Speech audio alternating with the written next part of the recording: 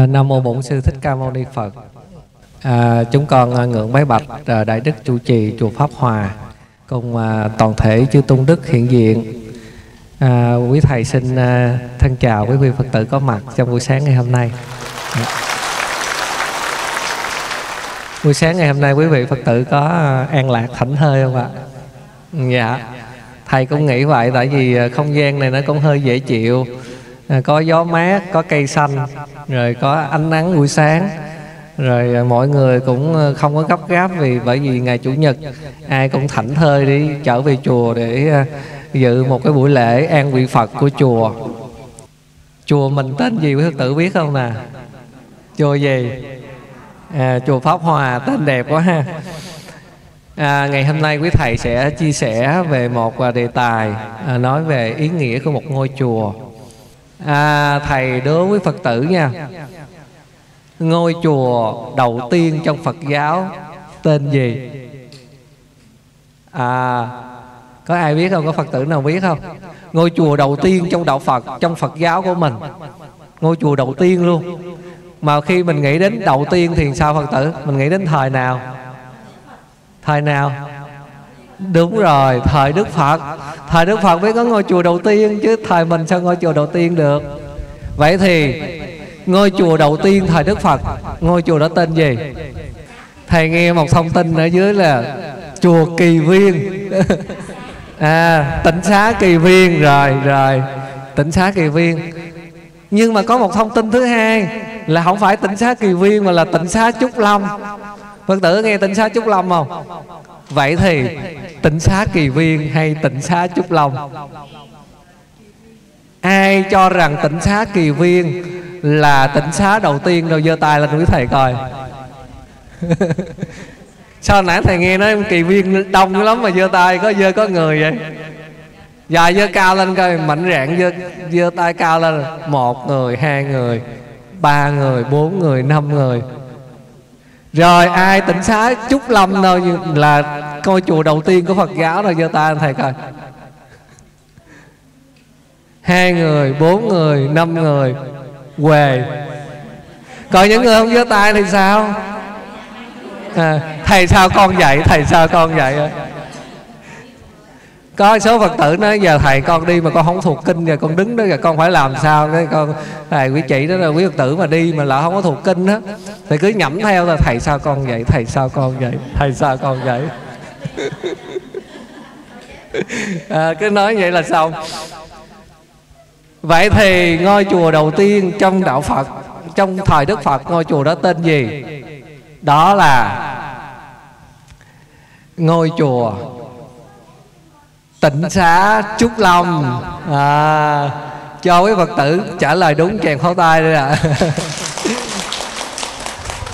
ngôi chùa đầu tiên thời đức phật là tịnh xá trúc lâm chứ không phải tịnh xá kỳ viên nha. Rồi câu hỏi tiếp theo test kiến thức phật pháp chút xíu nữa. Ngôi chùa tịnh xá trúc lâm do ai hiến cúng? Rồi thầy mời chị. Tịnh xá Trúc lòng do ai hiến cúng. Đúng không quý Phật tử? Phật tử kia trả lời là tịnh xá kỳ viên do vua Tần Bà Sa La Của nước uh, uh, Ma Kiệt Đà đúng không? Tịnh xá Trúc Lâm do vua Tần Bà Sa La cúng đúng không? Đúng không? Đó là đáp án. Hoàn toàn. Chính xác. Rồi. Vậy tịnh xá kỳ viên, Do ai cúng Với ai nữa? Thái tử gì? À thấy là kỳ đà Cúc cấp cô độc thì ông cúng gì? Cúng gì? Cúng đất. Lót vàng trên đó Còn thái tử kỳ đà ông cúng gì? Cúng cây xung quanh tịnh xá. Quý vị Phật tử mình mình đọc lịch sử mình đều thấy không? Ngày xưa thời của Phật á Là Phật Thỏ ban đầu là Phật không có khuyến khích người nữ đi tu. Với tự đọc lịch sử thấy à Phật không có khuyến khích người nữ đi tu Bởi vì sao? Phật không khuyến khích người nữ đi tu. Lúc đầu là Hoàng hậu Maha Ba Xà Ba Đề là mẹ nuôi của Phật á Là xin Phật đi xuất gia ba lần Nhưng Phật không cho phật không đồng ý. Đó, sau đó đó thì thì thì um, sau một thời gian sau thì hoàng hậu uh, Maha Ba Xà Ba Đề mới làm một cái việc đã rồi có nghĩa là làm sao? Cùng 500 công chúa với mấy cái người trong hoàng phu phu nhân mệnh phụ phu nhân rồi mấy công chúa rồi người hầu trong cung cạo đầu hết 500 người. Đến mặc áo phấn tảo rồi cạo đầu hết để xin Phật xuất gia. Lúc này nhờ ngày A Nan sinh cho nên Phật cho người nữ xuất gia. Quý vị biết vì, vì sao mà Phật không cho người nữ lúc đầu Phật không cho người nữ đi xuất gia không? Biết vì sao không? Có lẽ Phật không thương người nữ đúng không? Chứ làm sao? À, nguy hiểm luôn ha. À, phải vậy không? Có nghĩa là thời xưa thời của Phật á là mỗi vị tỳ kheo thường mỗi ngày sống à, ngủ ở đâu quý tự biết không? Ngủ đâu? Ngủ với gốc cây ngủ trong rừng cho nên mình thấy trong luật Phật quy định là dường như là Phật không cho vị tỳ kheo ngủ với một cây quá ba đêm. Tại sao không cho ngủ với gốc cây quá ba đêm? Tại vì ngủ với cây quá ba đêm mà cây nó mát quá nó che nắng che mưa cái yêu cái cây đó luôn. À, cho nên là Phật không có cho bám trụ vô cái gì hết. Và đời sống của người tu thời đó là dài đây mai đó. À, cho nên nó hợp với người nữ không với Phật tử nó không hợp với người nữ việc đi xuất gia. cho nên phật không khuyến khích người nữ đi xuất gia là thế. Cho nên mình thấy trong trường hợp này mình thấy phật thương người nữ không? Phật thương người nữ lắm á. Trong có những điều mà phật chế ra mình thấy phật thương người nữ là phật nói là một người tỳ kheo ni ở an cư kiết hạ ở một nơi là phải có tăng. Phải có tỳ kheo tăng là Phật mới cho ở. Tại sao? Tại sao? Phải có ông thầy ở kế bên này Phật mới cho người nữ ở đó. Tại sao đúng rồi, để có chuyện gì có bị ai ăn hiếp thì mấy thầy à, à, ra đỡ được được. À, có chuyện gì quý thầy qua giúp đỡ. Hư cái ống nước rồi hư cái điện, hư cái quạt, quý thầy qua đỡ giúp được. Có nghĩa là thời xưa là phật phật phật rất là thương người nữ, nhưng mà thấy cái cái cuộc sống của cái người tu nó không phù hợp với người nữ nữa.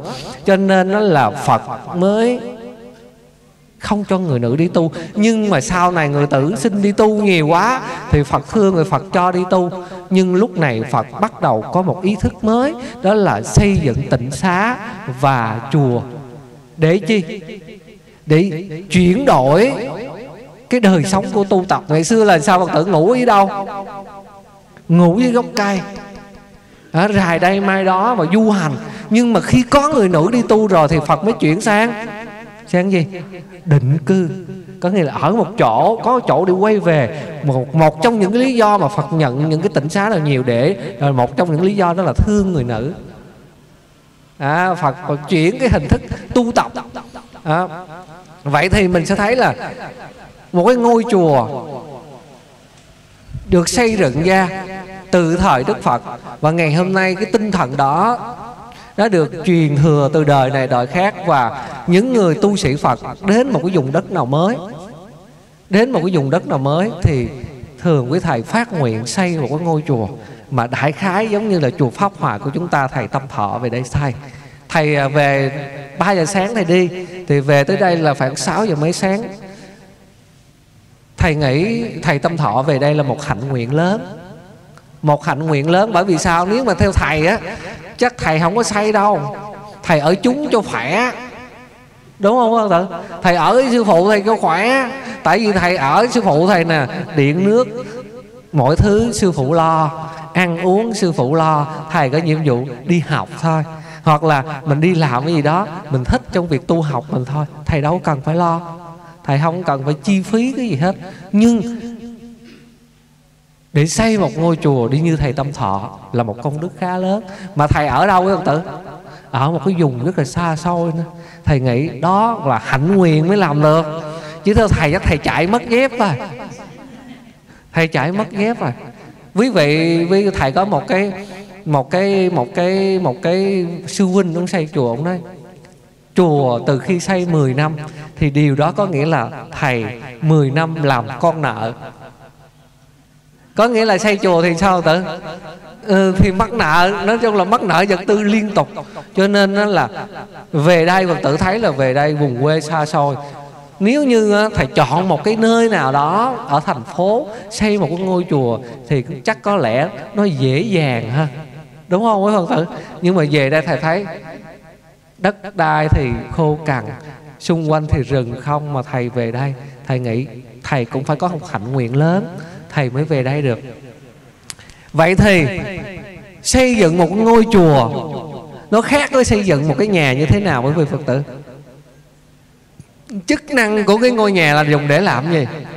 Để làm gì? Để ở, để che mưa, che gió, ngôi chùa có chức năng đó không? Có. Rồi ngôi nhà có chức năng gì nữa nè? Có chức năng giáo dục không? Có chức ngôi nhà của mình ở có chức năng giáo dục không? Có chứ. Có không? Cha mẹ dạy dỗ con cái ăn học học hành có chức năng giáo dục đó. Vậy thì ngôi chùa có chức năng giáo dục không quý phật tử? Có. Nhưng mà phạm vi của ngôi chùa nó rộng hơn không? Nó rộng hơn nó lớn hơn. Quý vị phật tử sẽ thấy nào. Nếu như thầy tâm thọ không về đây thì có cái giảng đường này để mình ngồi nghe pháp không? Không. Rồi có cái số lượng phật tử này về đây để nghe pháp không? Không. Nhưng mà thầy về đây từ một bên đất cái thầy xây vào cái cái cái giảng đường này lên. Vậy thì có số lượng nêu đây được trăm không ta? Chắc trăm đi cái mình dán dán cho được trăm cho nó hoành tráng. Vậy là được trăm người về nghe pháp. Vậy thì nó có chức năng gì? Nó chức năng gì nó có chức năng tu tập. À tu tập, chuyển hóa. Rồi khi mình hiểu phật pháp rồi đó, mình mới chuyển hóa được cái hành động của mình thì nó có chức năng gì? Nó có chức năng gì? Chức năng giáo dục. Cho nên quý vị phật tử thấy mình đi qua các chùa của người khmer, mình đi về trà vinh rồi mình thấy, hay là mình thấy ngôi chùa nó là cái cái nơi tu tập mà còn là cái nhà văn hóa nữa bao nhiêu cái sự kiện bao nhiêu cái lễ hội đều tập trung vô ngôi chùa hết. À, đều tập trung vô ngôi chùa hết. Đều đều đều diễn ra ngôi chùa và ngôi chùa là nơi sinh hoạt cộng đồng. Mình thấy là ngày xưa chính trong ngôi chùa mình học lịch sử ngày xưa mình thấy chính ngôi chùa ngày xưa ông thầy ở trong chùa chính là gì nữa phật tử? Chính là ông thầy giáo nữa rồi là nơi ông chùa là nơi mà bốc thuốc nữa à, rồi chùa là cái nơi mà để cho các trẻ nhỏ vào đó để sinh hoạt tu tập. Vậy thì cái chức năng của ngôi chùa là chức năng tu tập.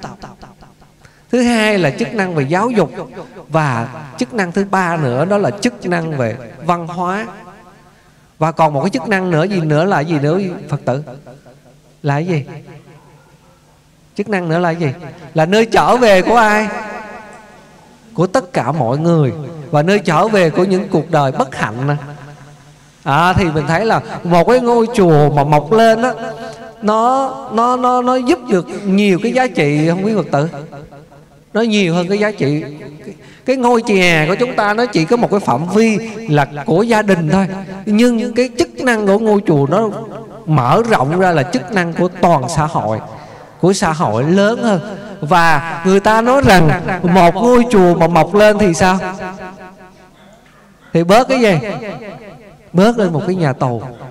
Mình thấy như vậy quý vị phật tử thấy là ngày hôm nay á không ngày hôm nay á, là thiền của phật giáo mình á, được đưa vào trong trại tù để hướng dẫn tù nhân và người ta nói rằng khi mà một người tù nhân mà hướng dẫn mà họ tu học phật pháp tốt á, thì họ cái khả năng mà họ tái phạm lại là ít hơn.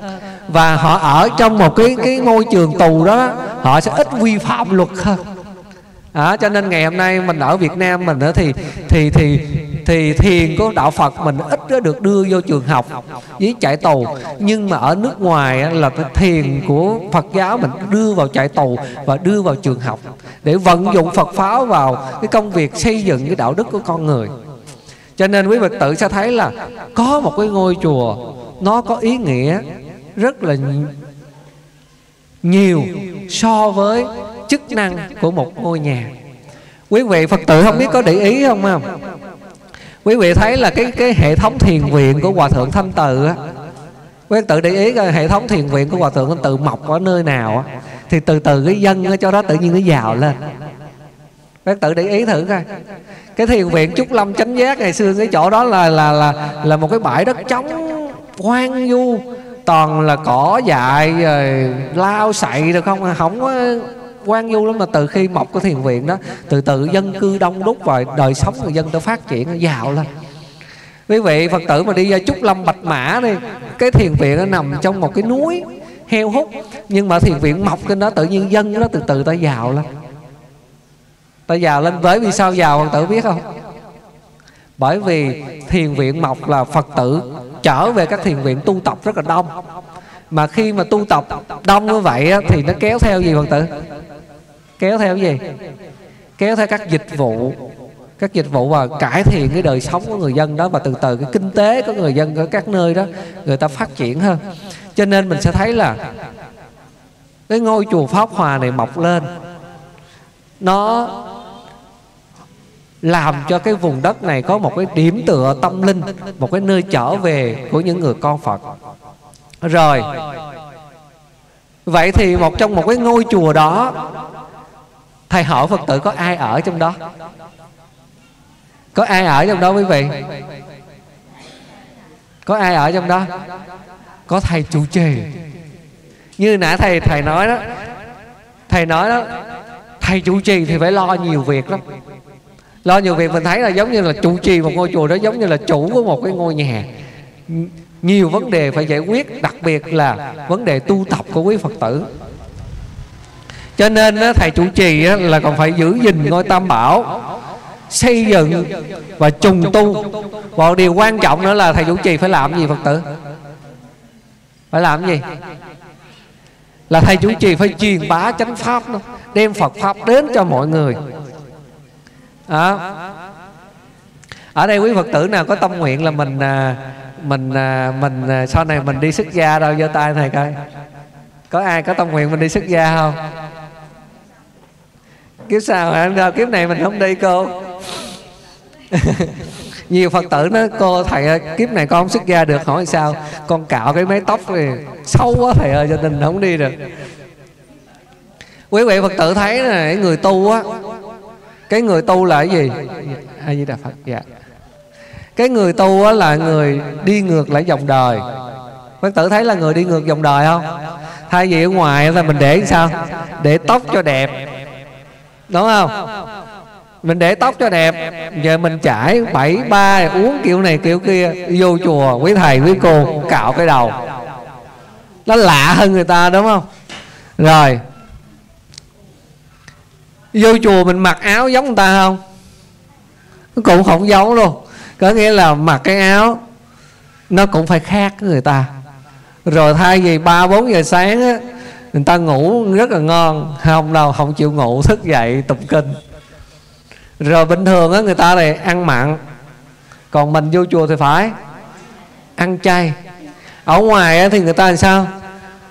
Lập gia đình. Còn với thầy thì sao? Sống độc thân. Thì có nghĩa là mình thấy là cái người tu á, là người đi sao phật tử? Đi thuận dòng đời đi ngược dòng đời. Đi ngược dòng đời đi ngược cái dòng thế gian. Phật tử thấy người tu đi dòng, ngược dòng thế gian. Quý Phật tử thấy là quý thầy đi là thấy cạo tóc là thấy lạ hơn ta rồi. Mà quý vị Phật tử biết là vì sao quý thầy đi mà phải cạo tóc không? Cô nói cạo cho xấu quá. Này đã xấu sẵn rồi mà cạo còn xấu thạo, Xấu dữ nữa. Ừ, để phân biệt người tu với người không tu đúng không? Đó là những cái đáp án rất là chính xác đó Phật tử. Có nghĩa là người tu là là làm thế nào để cho người khác thể nhận biết được đây là người tu? Thí dụ mà thầy mà ra đường mà thầy chạy xe vượt ẩu một cái là người ta biết ông thầy này ẩu liền. Cho nên khi người ta nói mình vậy thì mình biết làm sao? Mình biết mình là người tu. Cho nên đó là thường mà quý bà thượng dạy là khi mà khi mà mình làm một cái chuyện gì đó nó nó, nó không đúng pháp á, nó phạm lỗi á, thì mình nhìn sao? Giờ đâu? Cái dấu hiệu nhận biết là sao? Giờ đầu là biết mình là người tu. À, đôi khi Phật nói là nếu mà con làm chuyện gì đó mà con con phóng túng quá con quên mình là người tu quá thì hãy giờ cái đầu. À, để biết mình là người.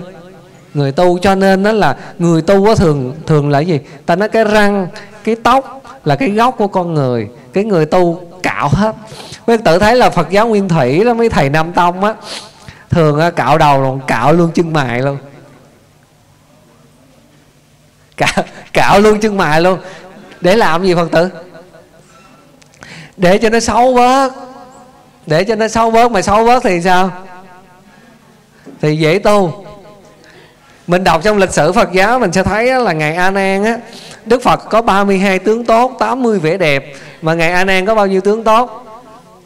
30 tướng tốt rồi. Đẹp ngày A Nan đẹp lắm.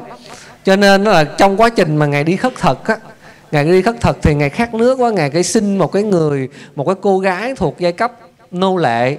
Thì giai, cô gái đó tên là ma đăng ma đăng già. Thì nói là, cô ơi, cô có nước không? Cho tôi cho tôi một ly nước đi. Thì ma đăng già nói là, thưa ngài, con là người thuộc giai cấp nô lệ, cho nên thân thể con ô uế lắm. Con không dám đến gần ngài. Thì lúc đó ngài a nan mới nói, ngài a nan mới nói, ta xin nước chứ không có xin giai cấp. À, thì ngài a nan nói câu đó thì ngài ma đăng già cúng dường cho ngài a nan một bát nước ngài uống.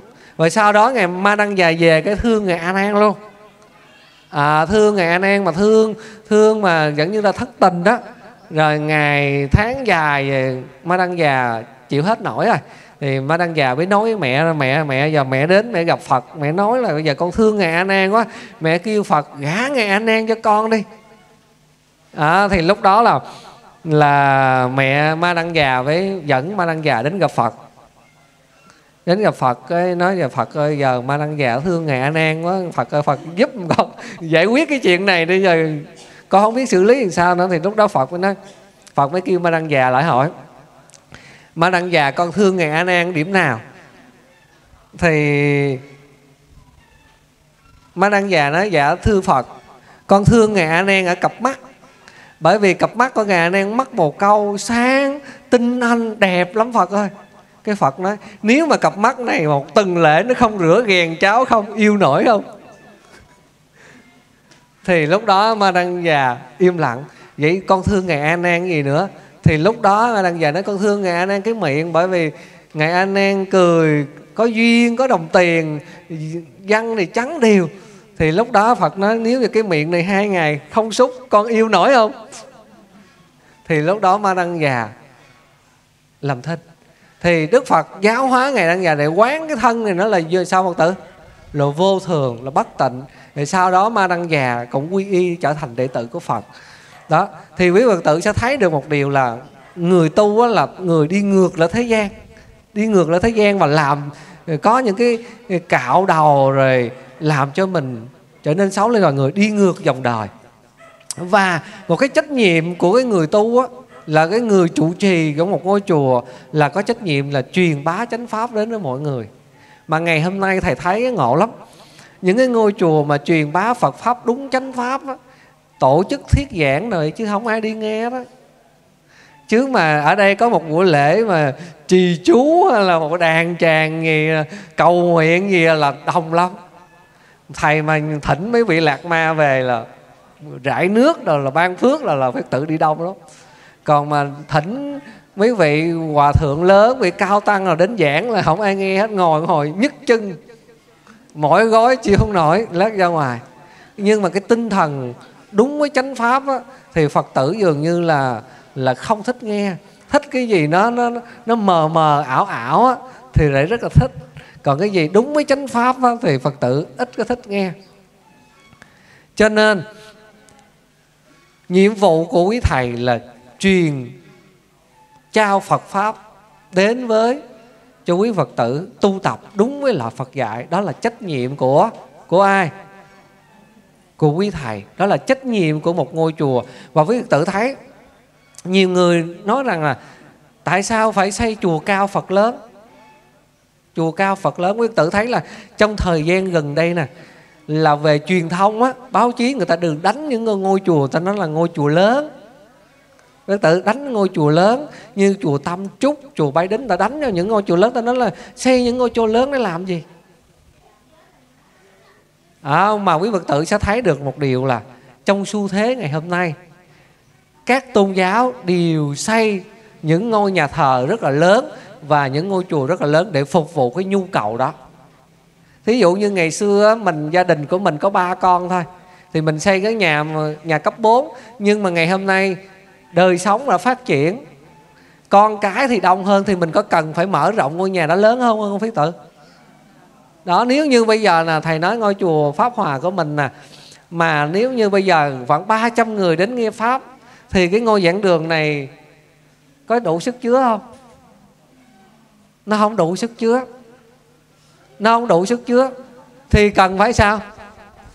Cần phải mở rộng lên thôi. Cái đó là điều điều là quy tắc thôi. Và dường như các tôn giáo nào, người ta cũng xây những cái ngôi thờ của mình rất là lớn.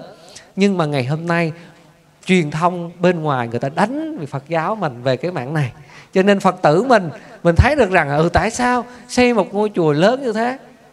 Nhưng mà Phật tử thấy là vì số lượng Phật tử đông thì mới phải xây lớn thôi. Nếu như nào, những người dân một cái ngôi chùa mọc lên này, thầy chủ trì nhờ cái mối quan hệ của mình, vận động phật tử ở khỏi mọi nơi về chùa đây làm từ thiện, thì người nào ở đây được hưởng lợi từ công đức của thầy chủ trì của phật tử? Người nào? Người dân nghèo. Và ngôi chùa này chính là cái gì? Ngôi chùa này là cái gì? Là cái điểm đến để cho mọi người có cơ hội để chia sẻ đến với những người khốn khó, những người nghèo khổ. Vì vậy thì chức năng của ngôi chùa quá tốt chứ.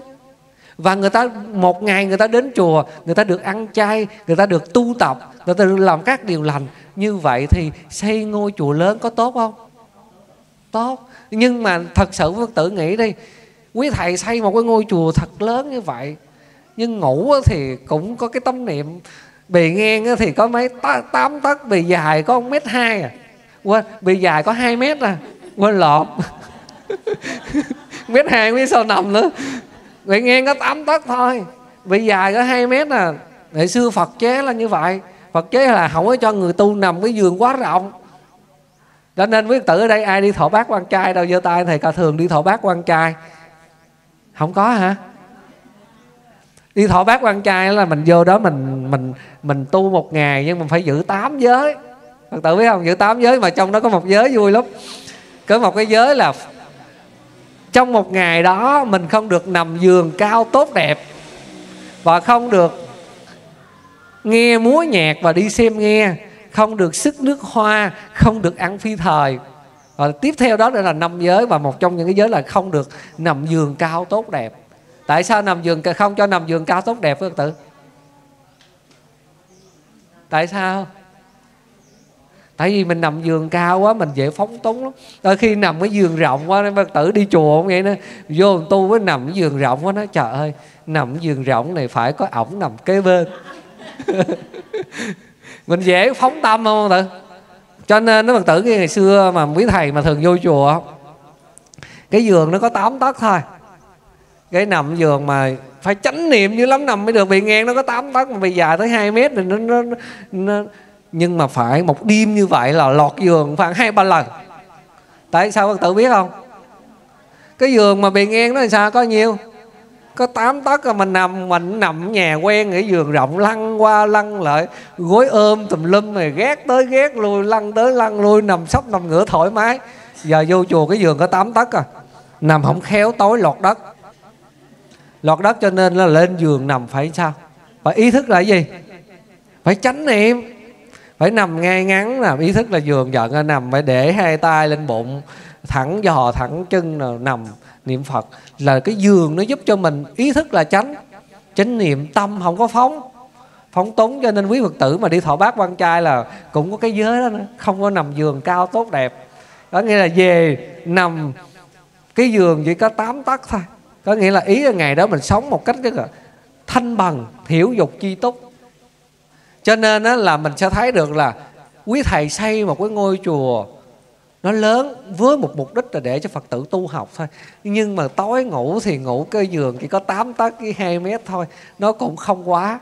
Đôi khi quý phật tử nhà mình rộng nhỏ vậy đó nhưng mà mình ngủ giường bao nhiêu mét? Còn hai ba mét mình mua cái bộ ly quăng của dán mình nằm cho đã đó.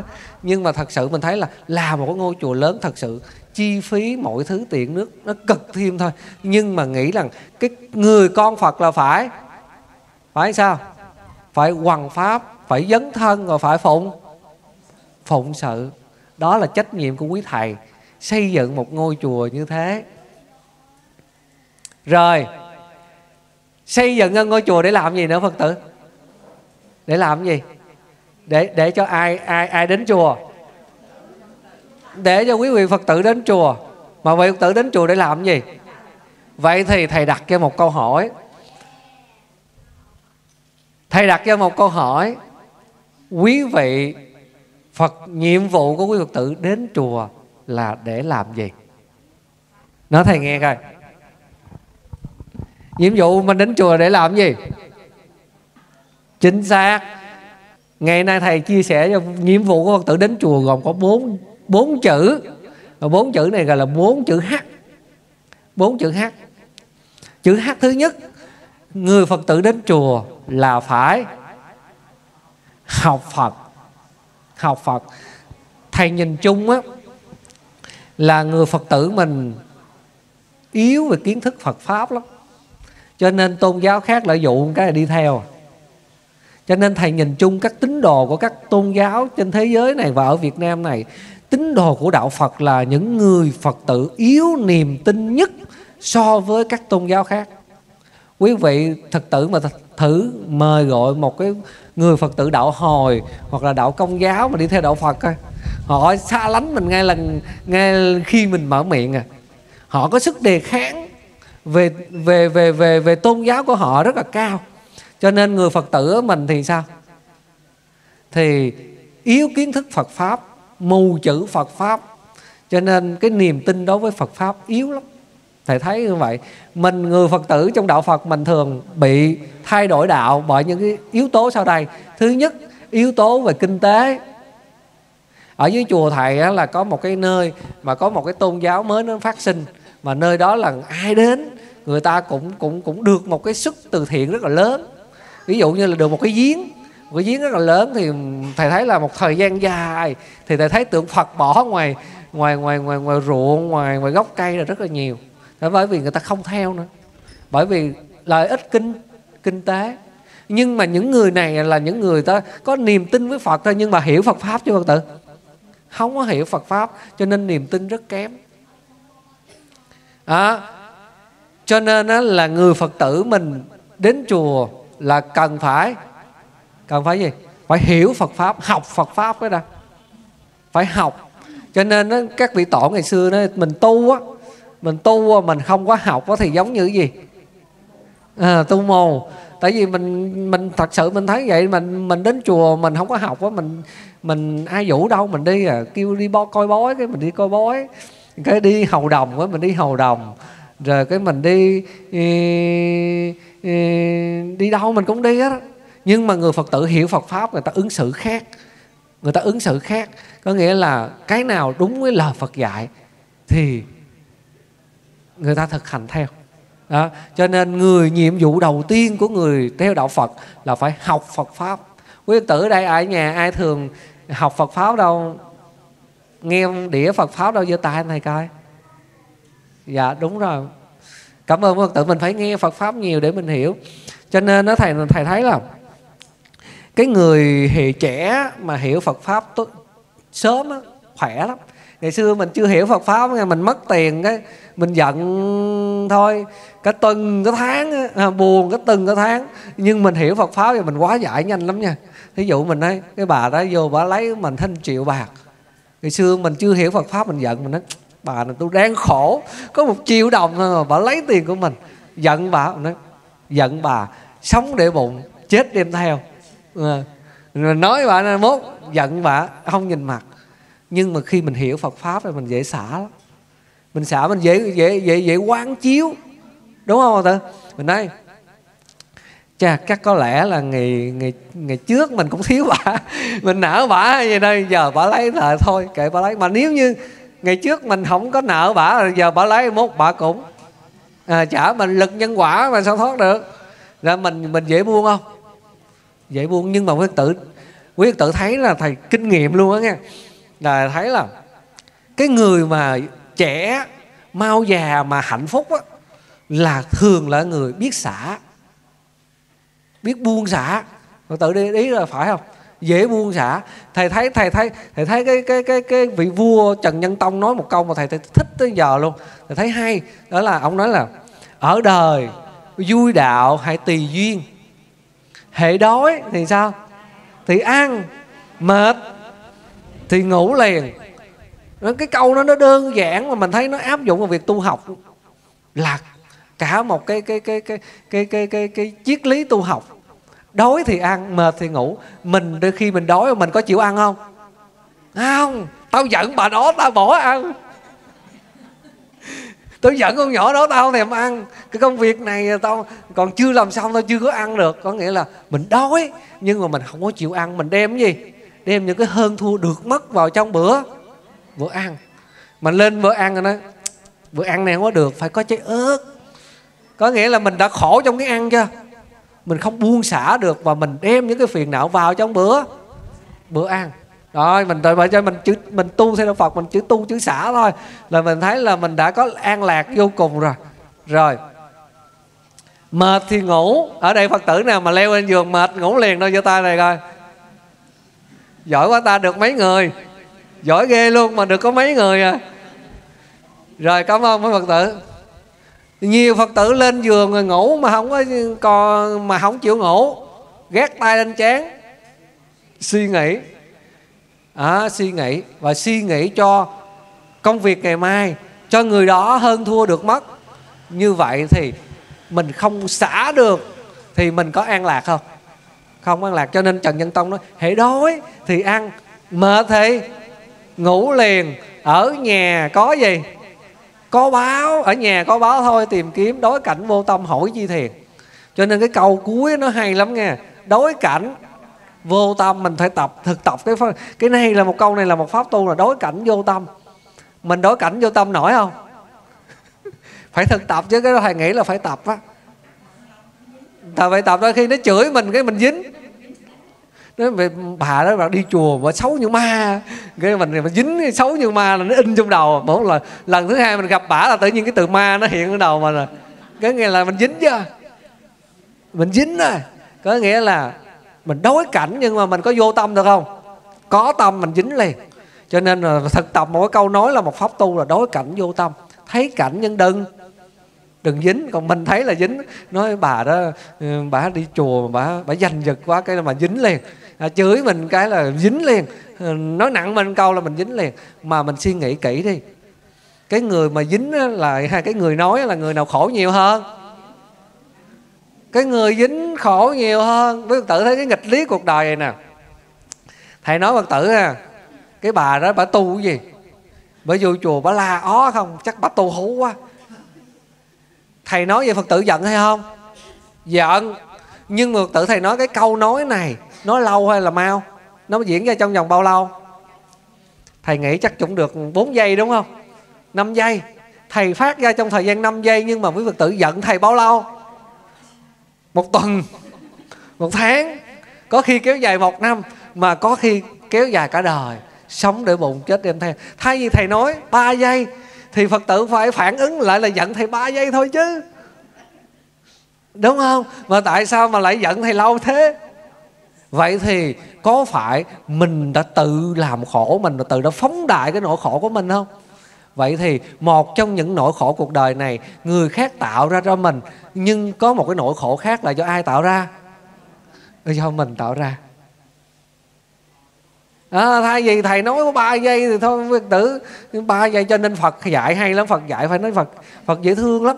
Phật dạy là người tu á là không được giận ai quá 24 giờ. Có nghĩa là ngủ dậy sao lắc lắc lắc đầu là quên hết. Như hổ mà sáng lại lắc đầu là quên hết không nhớ gì hết. Xả à, Phật dạy là vậy người tu là không giận quá. Bao lâu? 24 giờ cho nên người nào tập được xả buông xả thì người đó sẽ có hạnh. Hạnh phúc. Mà người nào không buông xả quá thì thường thường là cái gì? Thường là cái gì? Đau khổ chấp nhất sân hận. Hòa quyết tự thấy là người nào mau già người nào thương nhiều bệnh tật là do cái gì? Do sân sân hận. Sân hận. Sân hận mà, mà ba cái yếu tố mà phật tử thấy là ba yếu tố làm cho mình đau khổ là tham nè. Tham nè tham mà không được thì nó dẫn đến gì? Sân. Si là cái gì? Si là cái gì? Si là thiếu hiểu biết. Mà với tử là mình do mình thiếu hiểu biết cho nên mình dẫn đến tham mình dẫn đến si. Quên, mình dẫn đến tham và sân. Do mình thiếu hiểu biết, mình dẫn đến tham mà. Và sân, cái dần si nó cũng cũng tác hại lắm. Cho nên ba cái này, nó làm cho mình đau khổ. Và người nào sân nhiều, giận nhiều, thì thường sao thường? Thường đau khổ nhiều và nó kéo theo nhiều bệnh. Nhiều bệnh tật. Cho nên phật tử thấy là phải tự nào để ý người nào mà tu tập tốt mà buông xả nhiều và hay cười nhiều á, là người đó trẻ hoài à. Thiệt phật tử để ý người nào hay cười nhiều. Thiệt nụ cười nó nó hay lắm. Cho nên phật tử thấy nào quyết áp là tăng xong rồi bán gì đó, rồi đột quỵ rồi hay là gì đó, thường nó xuất phát từ cơn cơn giận. À, cơn giận cho nên á là những cái nhà tâm lý học hiện đại người ta khuyến khích mình ngày cười mỗi ngày cười nhiều. Cho nên đó là có một cái ông bác sĩ người ấn độ ông là, là, là bác sĩ về tâm lý.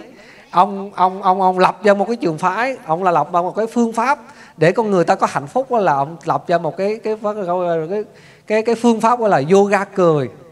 Quý phật tử có có có có, có nghe nói này yoga cười chưa? Yoga cười có nghĩa là buổi sáng á người ta tập hợp nhau trong một cái cái cái công viên.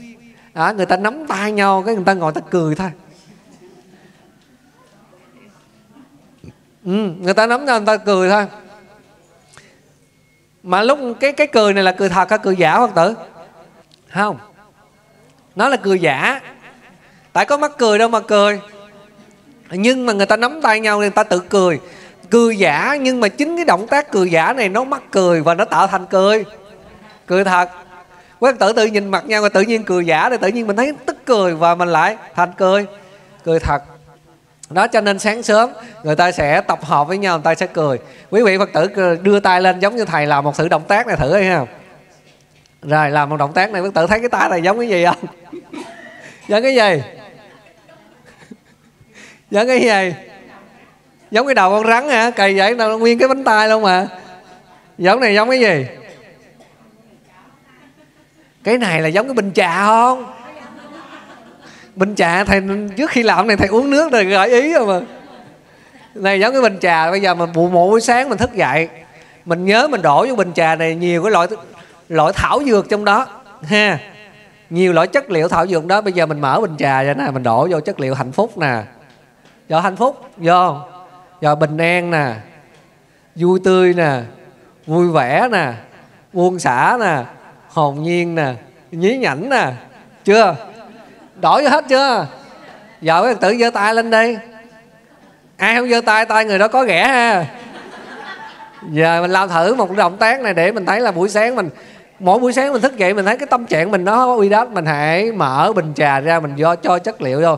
An lạc, hồn nhiên, vui tươi, hạnh phúc, nhí nhảnh, an lạc, thảnh thơi tự tại. Giờ đổi vô hết chưa? Giờ bắt đầu mình đổi vô đâu? Đổi vô đâu? Chính xác, đổi vô miệng mình phải đổi vô người mình chứ. Rồi, nè, giờ mình đổi vô an lạc. Thảnh thơi. Hồn nhiên. Vui tươi. Nhí nhảnh. An lạc. Thảnh thơi. Tự tại. Mọi niềm vui giờ có xong mình cười nha. Hi hi hi. Ha ha ha. Hô hô hô.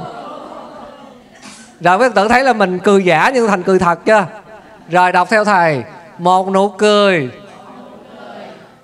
Bằng mười than thuốc bổ. Một cơn giận. Bằng mười than thuốc chuột. Chắc mười viên thuốc chuột qua mười viên thuốc chuột à rồi, đọc theo thầy.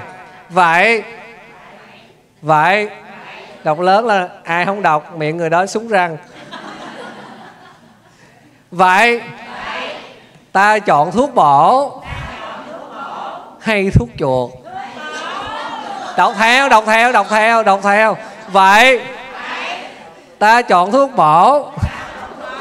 Hay thuốc chuột đọc theo hay thuốc chuột. Đương nhiên. Là thuốc bổ. Thà xấu. Đọc lớn lên thà xấu. Mà có duyên. Còn hơn. Đẹp như tiên. Mà bị khùng. Ở đây có ai đẹp như tiên không? Có ai mà đẹp như tiên thầy chạy nha. Tại xấu mà có duyên, còn hơn đẹp như tiên còn bị không vậy thì chúng ta sẽ thấy được một điều là chúng ta đến chùa, chúng ta không chỉ dừng lại ở việc học Phật pháp mà chúng ta còn phải làm gì nữa, Phật tử? Học Phật pháp xong rồi làm gì nữa? Làm gì? Gần gần đúng rồi, chút xíu nữa đi là gì nữa? Chính xác. Chữ h thứ hai là hành. Học xong thì phải. Phải hành. Và hành, lời phật dạy đó là gì? Là vô chùa hành mấy ông thầy đúng không? Chứ làm sao? Hành có nghĩa là thực hành. Có nghĩa là vận dụng lời Phật dạy vào trong cuộc sống của của mình. Như nãy quý thầy chia sẻ là hãy tập buông xả tập sống theo lời Phật dạy đó là là hành. Cho nên á Phật nói đưa ra một cái hình ảnh là tu á mà không học á thì là tu gì? Tu mù mà học á mà không tu á thì là cái gì? À, cái ví dụ hay quá không tử ha. Cái ví dụ hay thiệt chứ. Giống như cái thư viện thôi. Đựng sách cho vui thôi chứ nó không có hưởng được gì hết. Và có một ví dụ nữa. Cái người mà học phật á mà không có chuyển hóa được chút nào học đi. Cái hồi xưa bà đi chùa mà xưa bà đi đi chùa cái sân của bà nó nó, nó, nó nhỏ nhỏ thôi nó giống như sân nhà thôi à. nhưng mà sao đi chùa thời gian cái sân nó bự ra. Nó thành cái sân bóng đá luôn nó bự ra. Thì cái đó là đúng hay sai? Sai. Cho nên nói những người này là nó là đi học phật nhưng mà nó có chuyển hóa không? Không có chuyển hóa bây giờ thầy phật tử này tưởng tượng tượng này là cái gì? Cái này là ly súp. Ừ, ly súp.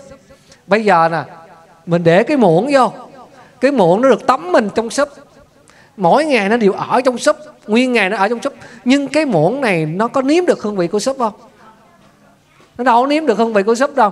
Nhưng mà chén súp này đưa đến miệng. Uống thì cái lưỡi nó có thường xuyên ở trong chén súp không? Không. Nhưng khi nó nếm súp thì sao? Nó tận được hương vị của súp. Vậy thì mình tu theo cái muỗng hay là tu theo cái lưỡi? Tu theo phương pháp của cái lưỡi là sao? Tiếp xúc với, với súp là tận hưởng được hương vị của súp à còn mình đó là mặc dù mình đắm chìm trong pháp ngày nào cũng nghe pháp ngày nào cũng mở đĩa thầy này này kia nghe thầy này hết giảng sư nổi tiếng nghe đụng cái sân cháu nó giận cái là buồn. Đó cho nên nãy thầy bị nói là ngày xưa mình chưa tu á, thì cái sân mình nó nhỏ nhỏ như cái sân nhà thôi. Nhưng mà mình tu thời gian sau cái sân của mình nó rộng như là sân bóng đá. Là có nghĩa là mình tu nhưng không vận dụng lên lời Phật. Phật dạy tham sân si nó vẫn vẫn còn.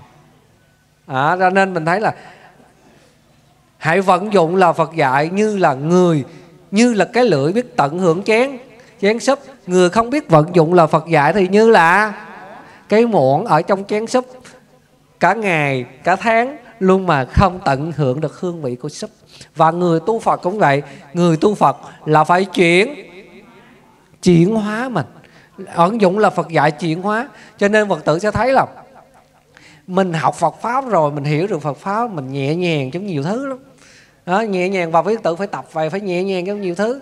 Thí dụ như thầy đấy là đi thọ bát quan trai cũng vậy đi tu cũng vậy. Cái ghế ngồi đầu tiên mình thường ngồi. Thì bây giờ ai đến trước ngồi thì mình có quan hệ ngồi phía sau mình nhường pháp cho người khác nghe. Nhưng mà thầy thấy một số phật tử ừ, cái chỗ ngồi mình cũng lại bám víu vào đó. Không tôi phải ngồi gần ông thầy giảng sư tôi mới chịu. À, rồi có nghĩa là mình phải chấp víu nhiều thứ quá mình là khổ. Và trong việc tu tập của mình cái việc ăn chay thôi mình cũng thấy nó cũng cực khổ nữa ví dụ như mình ăn nó chay món chay này rồi này là giao món luôn cái này là đồ của má. Các con không có được đụng vô rồi tụi bay ăn mặn là tụi bay không thọc được đôi đũa vô. Đó nghĩa là mình mà đứa cháu mà nó lỡ nó, nó, nó, nó để cái đôi đũa mặn vô là mình phiền não liền đó nghĩa là mình mình mình mình tu nó hơi hơi cực đoan và nó không có đúng pháp và mình chưa vận dụng lời Phật dạy vào trong cuộc sống của mình. Cho nên là người tu Phật pháp mình học xong mình còn phải phải gì? Phải hành phải hành hành là vận chuyển lời Phật dạy vào trong cuộc sống của mình. Mà muốn hành được thì phải sao tử? Muốn hành là Phật dạy được phải sao? Phải học phải nghe nhiều, phải nghe ngày xưa một trong những, một trong những cái mà giỏi á, Phật pháp là phải văn, là phải nghe phải nghe nhiều, nghe nghe nhiều để mình tu tập.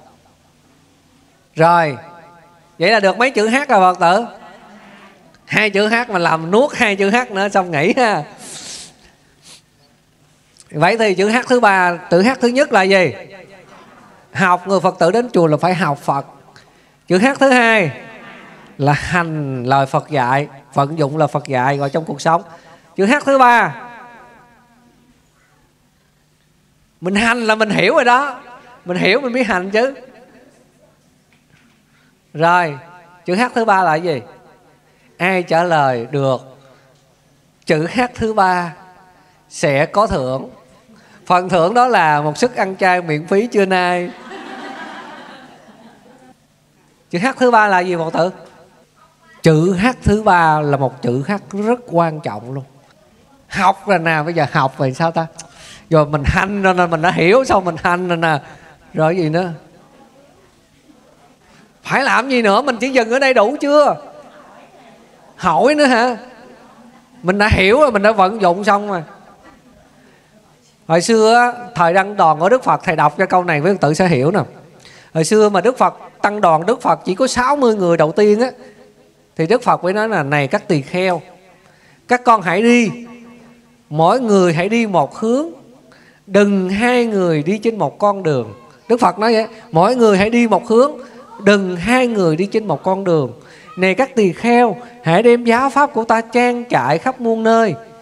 Giáo pháp của ta hoàn thiện ở phần đầu, hoàn thiện ở phần giữa, hoàn thiện ở phần cuối cả trong ý tứ và lời văn. Này các tỳ kheo, hãy đem giáo pháp của ta làm lợi lạc cho chư thiên và loài người. Các con làm được như vậy là đã hoàn thành nhiệm vụ. Vậy thì cái đây là một cái tiên ngôn về gì, phật tử? Là gì? Hoàng chính xác cho ông chàng hóa bài. Hoàng Hoàng đây là Hoàng gì?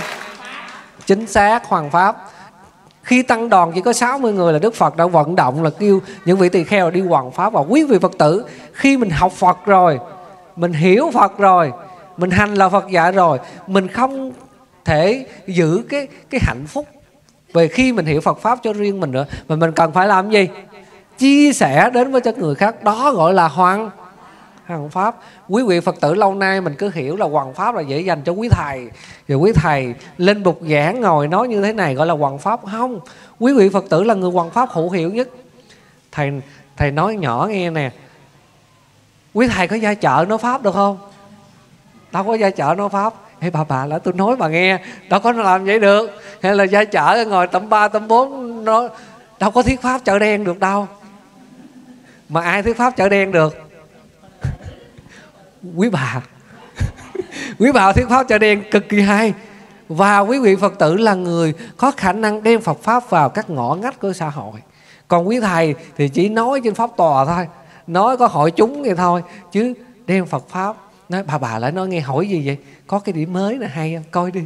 Đó cũng là một hình thức hoàng hoàng pháp và người Phật tử mình ngày hôm nay, quý vị Phật tử phải tận dụng, mình phải phát nguyện, phải phát nguyện với trước Phật, mình phải là người hoàng pháp. Phật nói là hoàng pháp dành để tử Phật có bao nhiêu người? Bao nhiêu chúng Phật tử? Để tử Phật có bao nhiêu chúng? Chúng mà còn có bao nhiêu chúng? Bốn chúng chúng gì? Tỳ kheo. Tỳ kheo ni. U bà tát, u bà di là cận sư nam vậy thì bốn chúng quý vị phật tử thuộc chúng thứ mấy? Chúng thứ ba với thứ tư là người nam và người nữ. Vậy thì phật nói là đệ tử phật có bốn chúng chứ không phải quý thầy, quý cô không? Nhưng mà tại vì quý vị phật tử không có điều kiện để học phật pháp nhiều như quý thầy, thì quý thầy có nhiệm vụ truyền truyền đạt, nhưng trách nhiệm hoàng pháp là của ai? Không phải của quý thầy, quý cô mà của bốn bốn chúng thầy thì thầy chung. Mà sao hoàng pháp để quý thầy, quý cô không vậy? Quý phật tử đâu? À thì vậy là bốn chúng. Tứ chúng mà. Cho nên quý vị phật tử là một người hoàng pháp mà ngày hôm nay mình biết rồi, mình phải phát nguyện mình sẽ là người chia sẻ là phật dạy. Ngày hôm nay quý phật tử chia làm hoàng pháp dễ lắm. Nhưng chúng ta làm thế nào có hiệu quả? Ngày hôm nay phật tử thấy không? Một cái tin thôi. Một cái tin thôi nhưng mà nó lan sao? Một một một cái tin gì đó nó nổi lên một cái là chỉ vòng vòng một tiếng hai tiếng cả thế giới đều biết rồi. Và ngày hôm nay mỗi người đều có một cái trang trang gì? Trang facebook. Không? Zalo những cái trang đó là mình hoàn pháp tốt lắm. Nhưng mà những người phật tử mình lại không tận dụng cái trang này để để để để để để để mình hoàn pháp. Nhưng mà thầy thấy á, là trang facebook thường là lên lại là cái gì? Thứ nhất là thể hiện cái tôi quá lớn các tử để ý coi. Thể hiện cái tôi là ưa đi đâu, mua cái gì đó là ưa ưa thể hiện cái tôi mình trong đó. Thể hiện sự giàu có trong đó. Và cái thứ hai, cái tôi, cái bản ngã trong đó, trong cái facebook của mình. Và cái thứ hai nữa, trong facebook này mình thể hiện cái gì trong đó nữa, phật tử? Thể hiện cái gì nữa? Thể hiện cảm xúc ở trong đó nữa. và cái nguy hại nhất là thể hiện cảm xúc tiêu cực trên trang facebook của mình.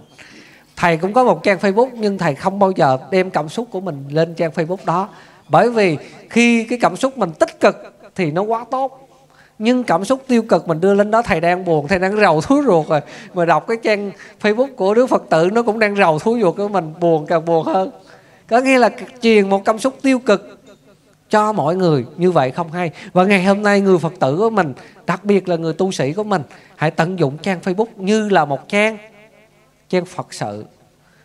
Trang phật sự một trang web phật sự mình lấy những cái tin của bài giảng của quý thầy nào giảng hay mình share về. Mình share về. Đó là một cách hoàn pháp đó. Mà bà lại đây đã nghe bóc ra cái đĩa về yeah, xem đi. Đó là quý phật tử làm được hoàn pháp được. Còn quý thầy thì quý thầy sẽ hoàn pháp ở một góc độ khác quý phật tử sẽ hoàn pháp ở góc độ khác. Cho nên tận dụng facebook mình. Thay vì mình đưa à ngày nay tôi mới mua đôi dài hay là một chiếc mắt kính đẹp mình khoe trên đó, nhưng ngày hôm nay mình sẽ tận dụng lại là mình ở đó mình sẽ khoe phật pháp mình trên đó. Mình để san sẻ Phật pháp đến cho nhiều nhiều người và mình tận dụng việc hoằng pháp bằng truyền truyền thông vậy thì mình ngoài cái việc mình hoằng pháp ra là mình còn thể hiện gì nữa?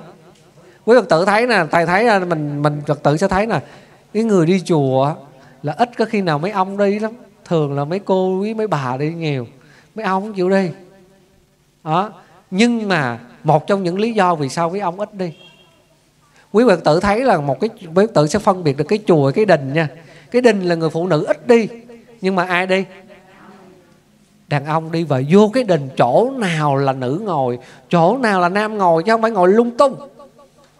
Người ta phân biệt về giai cấp, nhưng cái ngôi chùa là người nữ có thể đến. Và mỗi giới đều có thể đến, người nam có thể đến là người, có ngôi chùa là thể hiện cái sự bình đẳng về giới giai cấp. Còn ngôi đình đó là phật tử vô, phật tử thấy nhiều cái ngôi đền và rồi cửa này nam đi nè, cửa này nữ đi nè. Cho nên còn vô chùa là cửa nào cũng đi hết cho nên phật tử thấy vô đình là cái lễ là, là mấy ông nam thường đi và nữ vô đình là không phải đi lung tung. Phải ngồi có khu có vật còn như vô chùa thì người nữ được đi được thể hiện cái cái cái cái tính bình đẳng về giới của mình. Cho nên ngôi chùa nó thể hiện cái giá trị nhân văn lắm. Cho nên quý vị phật tử là mình phải tận dụng sự hoàn pháp của mình. Ngoài cái công việc mà sử dụng truyền thông người phật tử mình còn thể hiện trên ba phương diện nữa. Là về về gì? Về tu thân. Tu gì nữa? Khẩu và tu ý là mình mình mình giáo dục con mình giáo dục chồng mình bằng cái sự tu tập của bản thân mình. Như nãy thầy nói mình tu tập ở chùa mình tu tập lâu ngày đi chùa lâu ngày về nhà ông ông chồng ông giận cái, cái mình sân lên.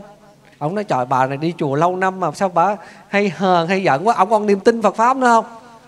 Không đúng là cái ông nói ờ, ông đang giận cái ông nói bà la nữa tôi tán bà một cái à? Thầy lúc đó mình im đi, mình tu tập rồi mình im đi. Không mặt tôi nè, ông tán đi. Thì lúc đó ông sao? Ông tán thôi. Ông tán thì sao? Gãy răng. Thay vì mình im đi, ông nghĩ này, sáng mình ăn hiếp bả mình thấy cũng có lỗi thôi, chiều nay chuột lỗi chở bả đi cà phê đi mua sắm. Nhưng mà kỳ này bả giận bả la lên, chiều nay cũng chở bả đi, rồi chở bả đi đâu? Đi làm răng.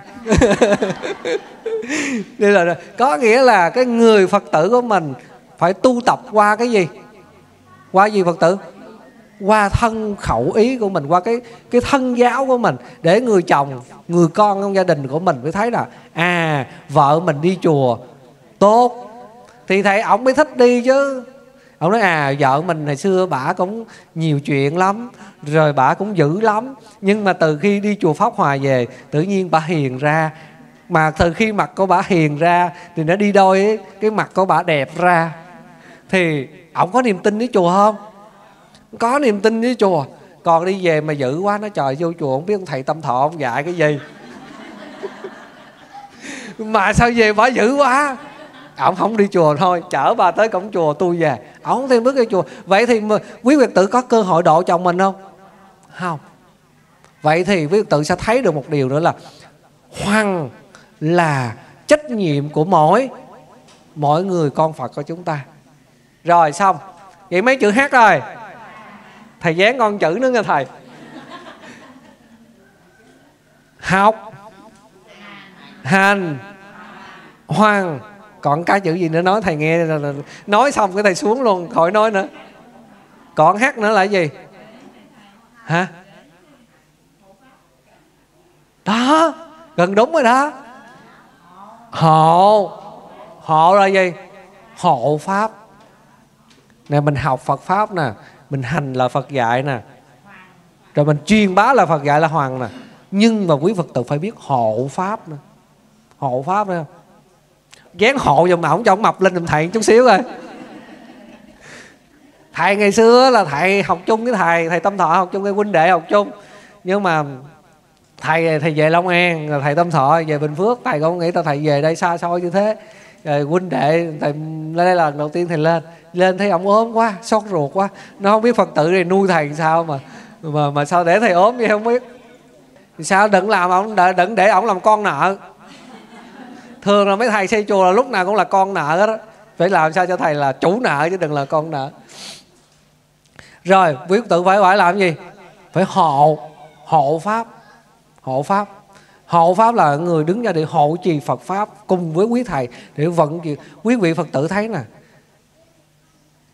tu tập như thế này, lần sau phật tử đi, mỗi người dẫn thêm một người đi à, mọi gọi mọi người đi thầy tổ chức mỗi ngày mỗi vắng thầy buồn lắm. Mà mọi người đi phải hộ hộ pháp. Rồi công việc phật sự của chùa quý vị phật tử chung tay với nhau đóng góp. Vậy thầy thấy à cuộc đời của mình nó mau lắm.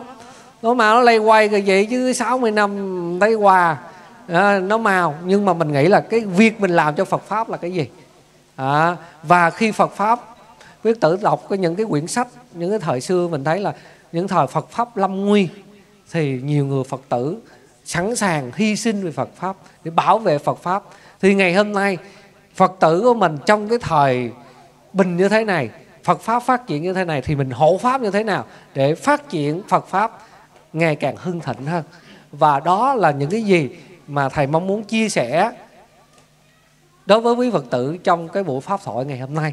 Với một ý nghĩa là hình thành một ngôi chùa từ một cái mảnh đất không về đây thầy nghĩ là thầy tâm thọ về đây là hai bàn tay không thôi nhưng từ một cái mảnh đất như thế này để tạo thành một ngôi chùa từ cái không mà nó thành tạo thành một cái có là cả một quá trình. Nhưng thầy nghĩ rằng một mình thầy tâm thọ sẽ sẽ sẽ, sẽ không làm nổi được xây dựng được một cái đạo tràng ở những cái vùng như thế này. Quý vị phật tử thấy nghe ngày hôm nay nè kiếm một ngôi chùa trên vùng cao nguyên, những cái vùng dân tộc thiểu số, những cái vùng dân tộc ít người, hiếm lắm. Ít có thầy cô nào về lắm. Biết vì sao ít thầy cô về không? Khổ quá. Mà khổ quá mà toàn là tự bơi không à. Thiệt tự bơi không à. Cho nên quý tự thấy là cái cái cái chính sách xây chùa với nhà thờ nó khác. Nhà thờ muốn xây dựng một cái vùng nào ở một cái vùng cao nguyên, một cái vùng dân tộc thiểu số, người ta đều có một cái quỹ ngân sách đều có một cái quỹ ngân sách, xây một cái rụp là xong. Còn mà ông thầy nào mà giờ dấn thân lên cái vùng núi là phải tự bơi. Mà tự bơi là do đâu bơi là phải nhờ cái mối quan hệ và sự tu tập của mình để phật tử có thể cùng với thầy xây dựng. Thôi mà thầy ngay thầy tâm thọ về đây, chắc thầy cũng bơi dữ lắm. Thầy bơi không mà bơi nước ngược nữa. Đó. Đó, cho nên mình thấy là thiền trở nặng mà gặp dòng nước ngược mà kèm thêm nó ngược chiều gió nữa để cho nên mình thấy là quý phật tử mình có cơ hội để mình thể hiện cái tinh thần hộ pháp hộ pháp cùng với thầy để xây dựng một cái nơi đạo tràng tu tập. Mà một người đến chùa tu tập, hai người, trăm người, hai trăm người đến chùa tu tập thì cái giá trị an lạc đó, nó được rất là nhiều đến với mọi người cho cộng đồng và xã hội. Vì vậy cái ý nghĩa của một ngôi chùa được mọc lên, nó có giá trị rất lớn. Và thầy kính kính chúc cho thầy chủ trì cũng như là chân cứng đá mềm có thể xây dựng nơi đây thành một cái đạo tràng trang nghiêm và phật tử tu học và tinh chuyên. Và thầy mong muốn rằng quý vị phật tử cũng chúng ta trở về chùa tu học với bốn tinh thần. Là gì? Học hành hoàng hộ à, đó là cái trách nhiệm của người phật tử mình để mình có thể cùng với thầy đưa phật pháp đến với tất cả mọi người. Kính chúc với phật tử chúng ta có một cái ngày về chùa thật là nhiều an lạc thật là nhiều thảnh thơi thật là nhiều tự tại để ờ, chúng ta ờ, áp dụng là phật dạy ờ, một cách an lạc nhất, hiệu quả nhất a di đà phật.